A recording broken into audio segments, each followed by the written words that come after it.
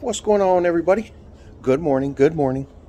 Yes, it's bright and early here, the RK camp, as usual. Per the usual. Now, I don't normally do this, but it's a new year. It's a new year. It's a new year. And I'm really excited. I'm really excited. So, I figured, why not? Why not? Let me let you guys have a little quick peek into the early year shenanigans of my boy. Heycito. Hey, papi.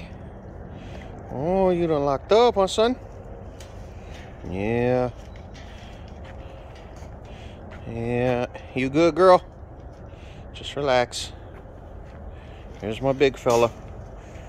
My big fella doing what he's supposed to do. Heycito. Hey, you're okay. Good boy. You're okay. Good boy. You're okay. Yes, I know. So, that's how we're starting off this year. Of course, we got the knuckleheads here as usual. Big Mama! Yeah, I'll be getting a video of her real soon. We got the bad kids section as usual. Look at them. Just bad. All of them. Mozzie, Mozzie. Mozzie, Mozzie, Mozzie. Just bad, I tell you. So, that's how we're trying to start off 2022. Um, I do have another one that should be going into heat really soon. Really soon. So,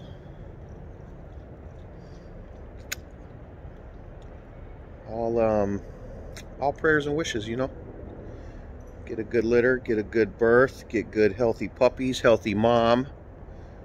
Um, that's number one. That's number one. I don't care if it's one or 12 puppies. I just need a healthy mom and healthy puppies. Um, you never want to risk losing, you know, and not just the puppies, but you never want to risk losing mom, you know. So, yeah whining a little bit, but they'll relax and then they'll separate naturally. You never want to you never want to force that. So if you are a new breeder, um, or you're somebody where just an accident happened in the house, you never want to force that separation. Just just let it happen naturally. It will it will they will separate. They will separate. Trust me. But um, that's how we are, guys. So thanks for joining in. It was a quick short video. There he is, the big boy.